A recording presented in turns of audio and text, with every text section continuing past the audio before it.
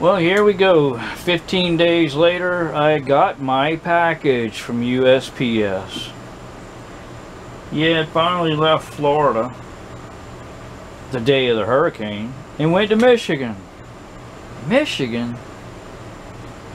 Yeah, so Saturday, 2 o'clock in the morning, it showed up in Charleston.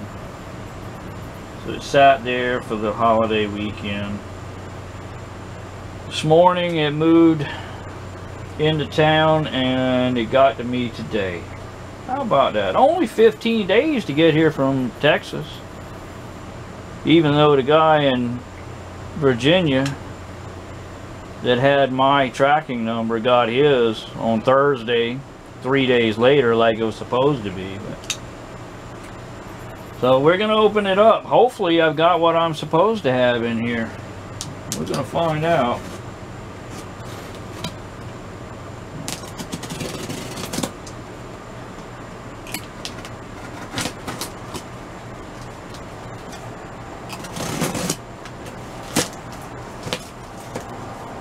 We got more tape.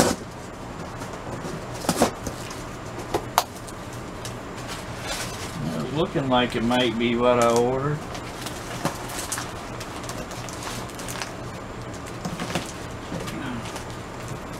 Looking like it might have been a little too big for the box.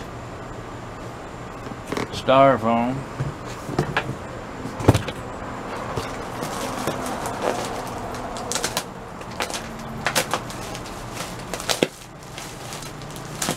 Big air.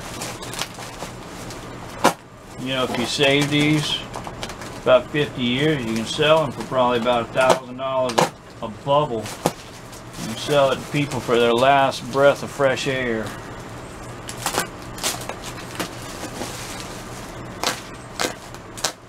My goodness.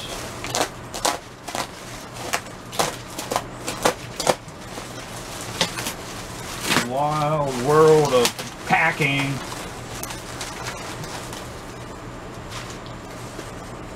Got a hairnet. Well, yep. I'd already nicknamed this thing, and I'll go ahead and tell you. She's old dirty girl. My goodness, is she dirty. And she's purple. Or red or something. MC250 Texas Star. I don't know if it's going to work or not.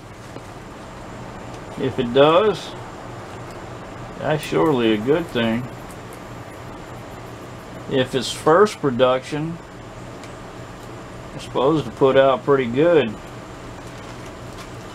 But uh, yeah, definitely old dirty girl. Ho hopefully she'll perform just like her nickname, like old dirty girl. We'll keep you updated on that. So for now, USPS, you suck, but hey, we finally got it. We'll let you know how she works. Be me, 483. They call me Mud Bucket like a bucket of mud, and well, we gone. Peace. Peace, peace.